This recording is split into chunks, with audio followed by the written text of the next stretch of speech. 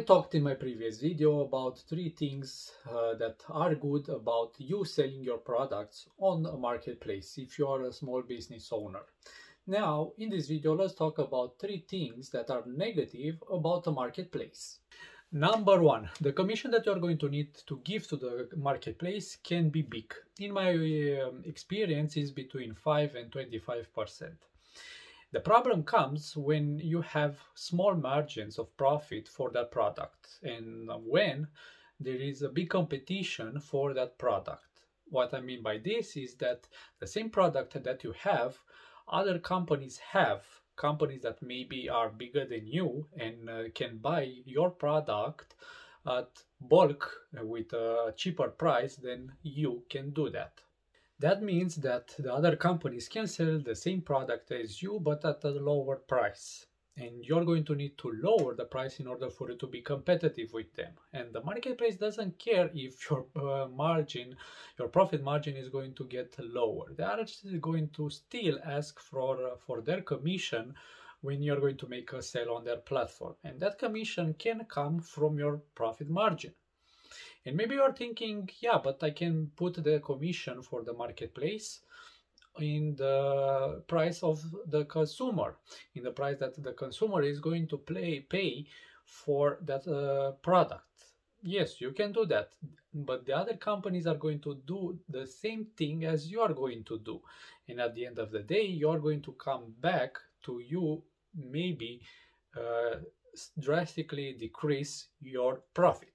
Like I said, the commission for the products is going to vary from category to category depending on which category your product is part of. And also there are products on uh, marketplace that you can sell there that are going to sell in big quantities and you're not going to feel that big of an impact in uh, decreasing your profit per uh, unit sold if you're going to sell them in a big quantity.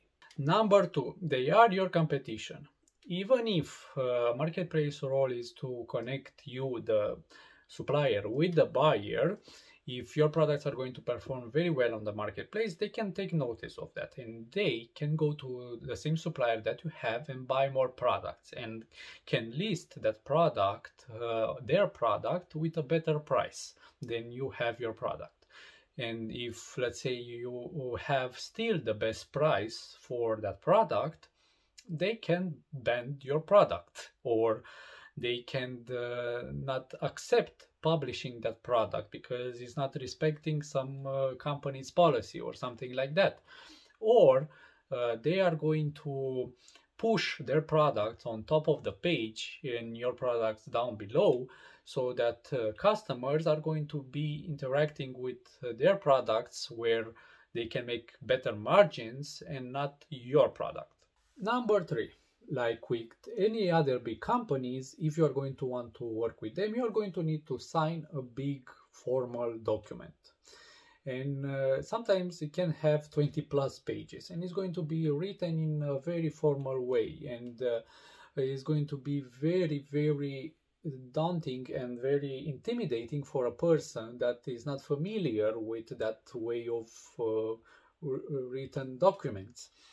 And in that document is going to specify what you can do and what you cannot do and is going to have all the agreements there.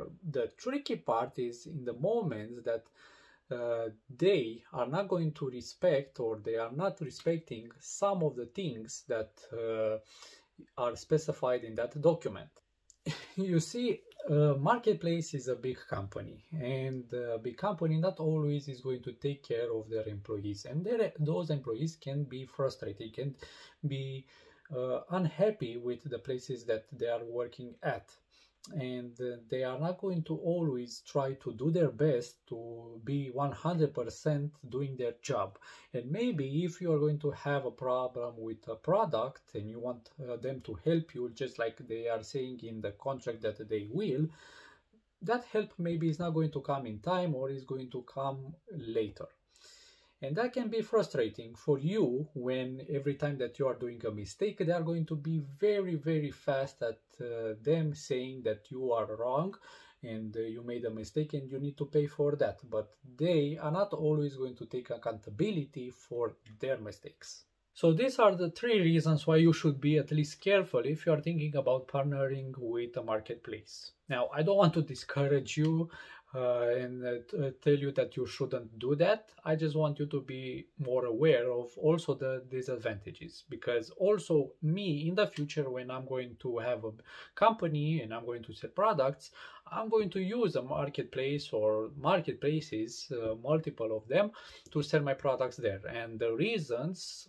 I explained them in this video here and you can click it uh, there that's about for this video guys. Thank you for watching it. Thank you for subscribing. Thank you for liking it. Uh, also i want you to leave me a comment below telling me what was your experience with the marketplace if you are a business owner. And until next time don't forget you're amazing